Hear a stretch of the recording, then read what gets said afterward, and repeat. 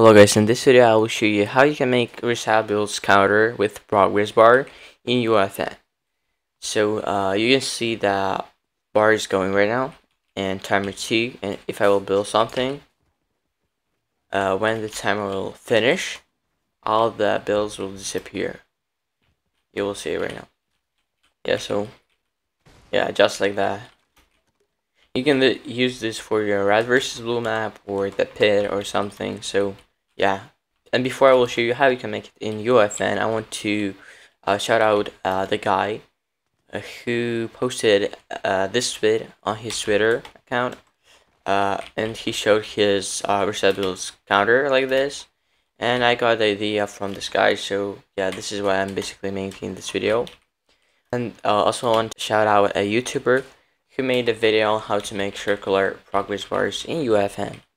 And yeah, that's it. Let's go into UEFN. and I'll show you how you can make Resetables powder with progress bar like this. Okay, so open UEFN right now and first thing you should do is go to a content drawer and make a new folder and, and call it, uh, for example, reset progress bar. And then double click on it and import all the assets that you will get when you will buy if you want to buy my zip folder with all the assets for this video it will be called circle progress bar and here just import all the the textures. And after this just open your in file explorer and file explorer open uh, the circle progress bar again and you will see uh, two text files. First one is build reset verse. You should open it, copy it, add new verse file to project, call it reset builds.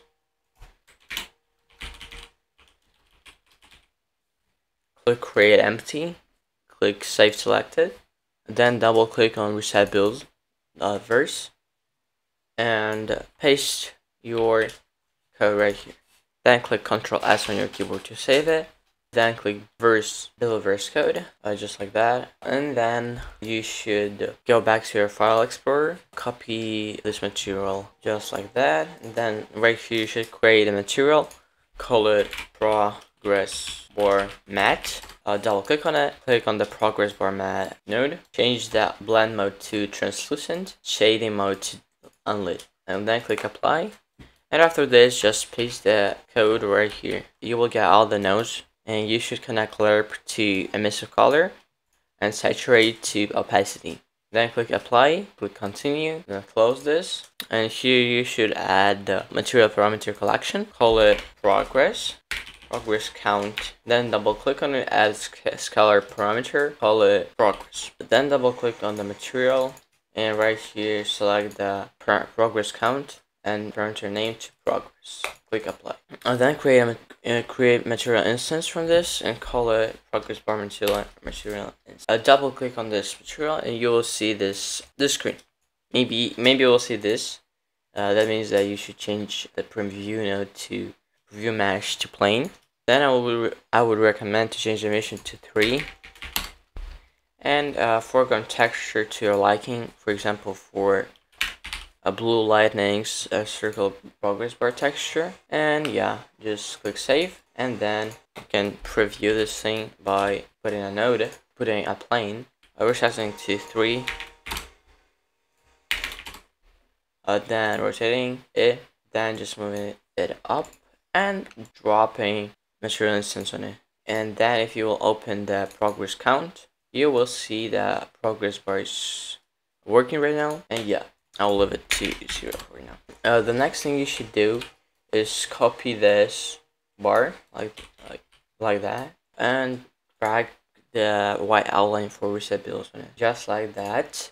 And then go to your material to this material and connect RGB to emissive color now it looks way better. And then click change the size to 3.25 and 3.25. and then move it back uh, for example like this.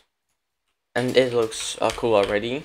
Then you should just add the devices. Before you will add devices you should add the cinematic sequence a level sequence and call it progress animation double click on it the sequencer will pop up and you should add material parameter collection track and select progress count. And here add the progress and just change the length of the animation to the minutes you want like you want to wait before the reset builds right so for me it's one minute and one minute is 60 seconds and one second is 30 fps so it's 30 uh you should multiply 30 by 60 and you will have 180 that means that you should uh, change the length to 1800 uh, just like that.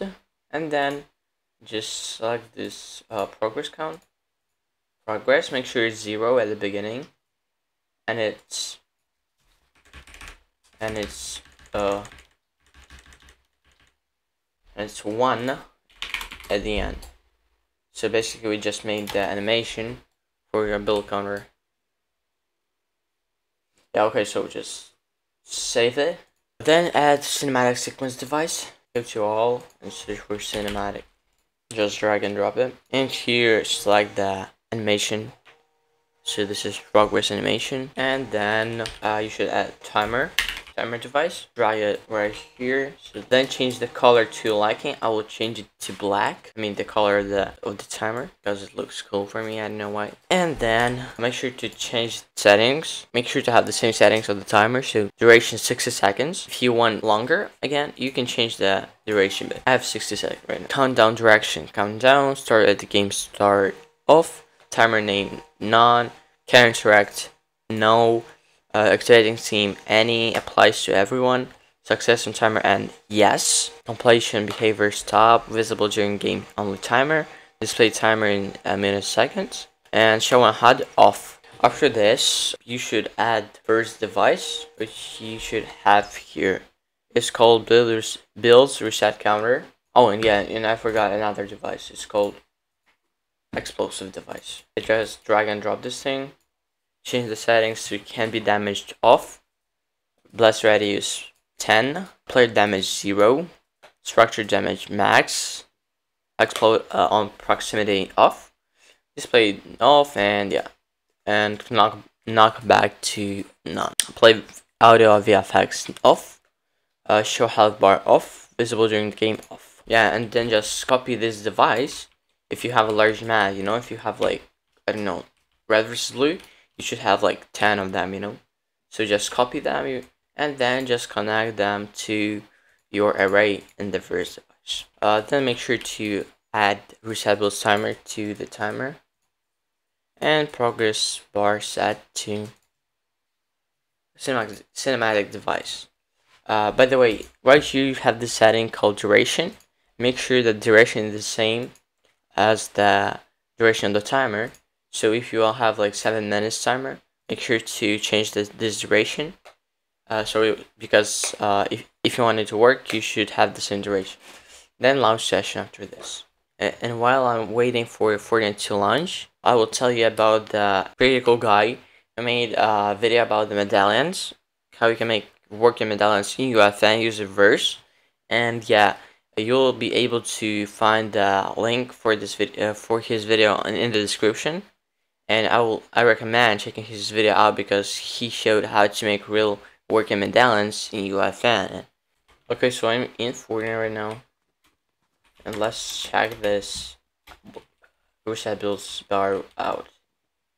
Yeah, so the bar is working, the timer is working, and let's see if the explosive devices will work. Okay, so four minutes left, and let's see if it works. Yeah, it does.